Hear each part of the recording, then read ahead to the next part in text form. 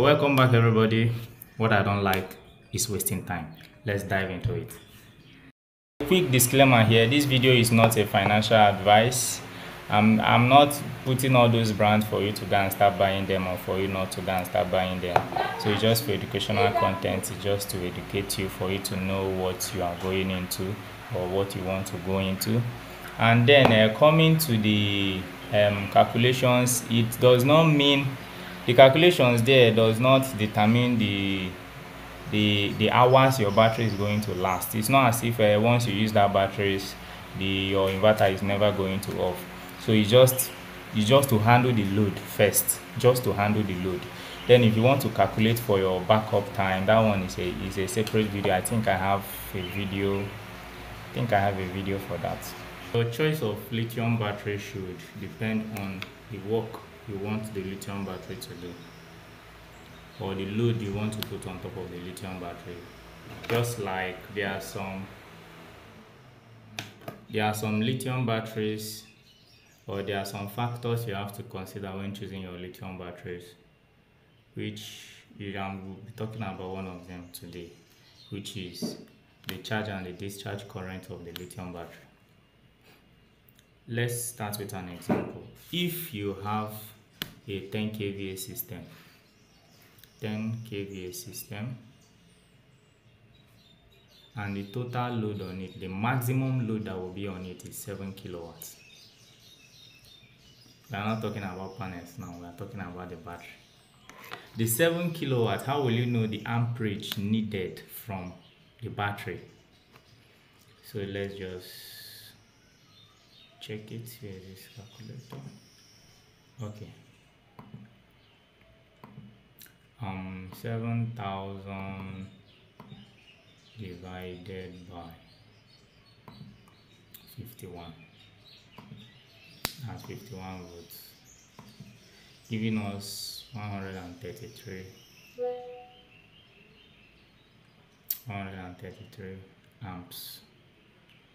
So this inverter will actually require 137 I mean 137 amps from the batteries to feed the load of 7000 watts at the voltage of 51 volts of the battery but we won't use 51 because most times the batteries are on 48 volts which is the lowest voltage the battery can go. So let's use 41 let's use 48 I mean 7000 divided by 48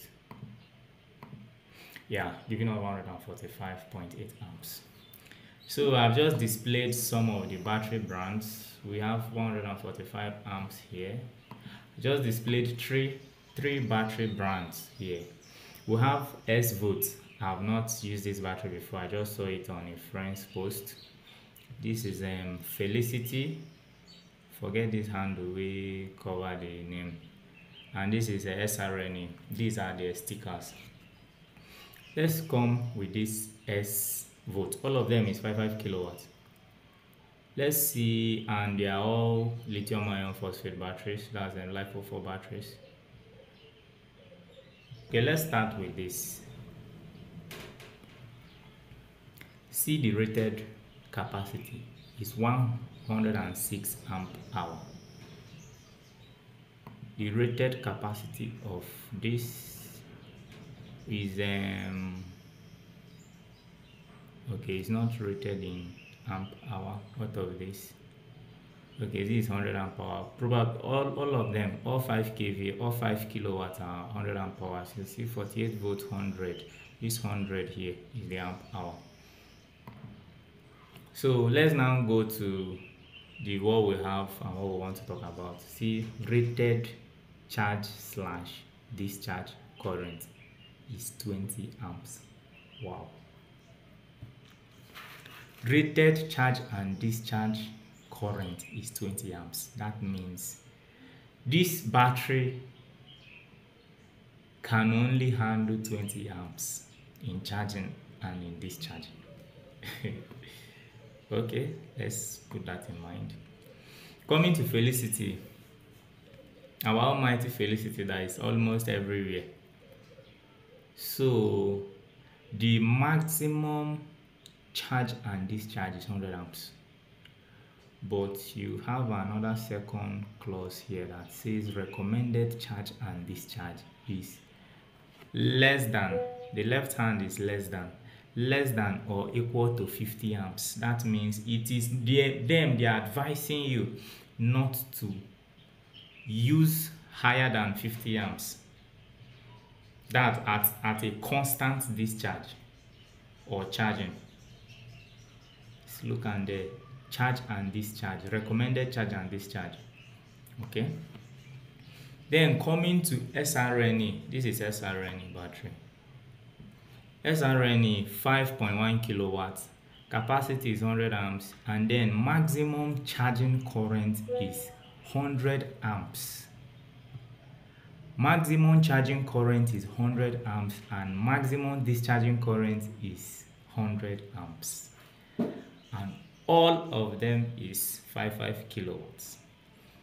When you start opening your mouth and be saying eh ah i'm seeing it cheap somewhere else and it's the same 5 kilowatts are you seeing the difference now?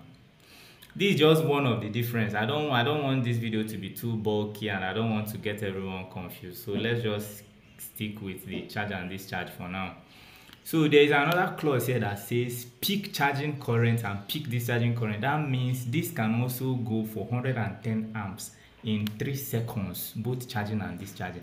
That means if you should have if if if you should have a peak or a surge or a, a an, an, an equipment that required more than it should, this battery will be able to handle it if the time is less than 3 seconds, less than or equal to 3 seconds.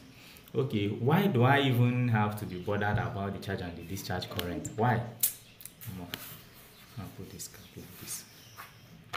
Why do I have to be bothered in the charge and the discharge current? Why should that be your business? Let's see what our calculator says.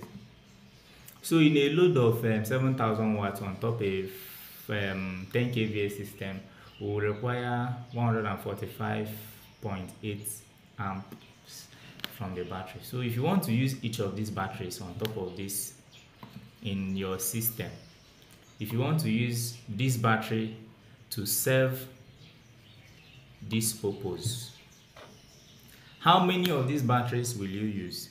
If you know put it on the comment section. I'm coming to that.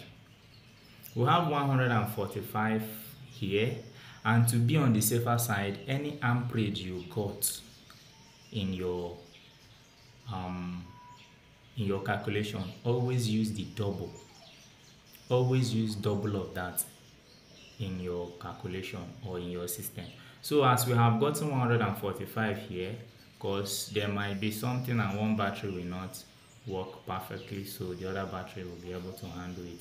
So let's say let's multiply it by 2 times 2. So we are having 291.6 amps.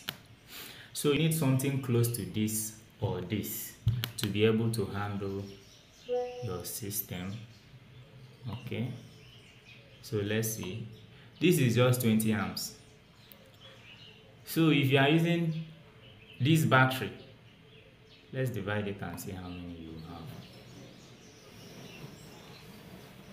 Divided by 20 amps that's 2 let me write it down 291.6 that's let's just say 292 292 divided by 20 so using this 5 kilowatt battery you need 14 of them 15 of them to be able to handle this. But using this let's just use this 50 amps that they wrote here and now use the 100 we have 292 divided by 50 Ow. you will just be using um six six of the batteries. And then when you are using SRNE just don't know why I'm laughing or 292 divided by 100 you just need 3 so have you seen the difference between your batteries? Because when most of you will be saying ah let me use this brand. Ah let me use this brand. This brand is cheaper. This brand is not cheaper. Have you seen the difference now? So this is just one of them so let's just stop here and then see you in the next video